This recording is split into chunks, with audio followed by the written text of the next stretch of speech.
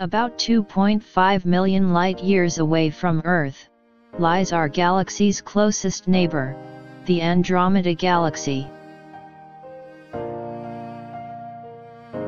It is a spiral galaxy which is bigger than our Milky Way.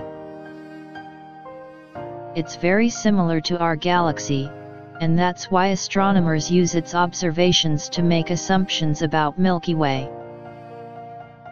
Andromeda is 260,000 light-years long, and is a part of a cluster of galaxies called the Local Group.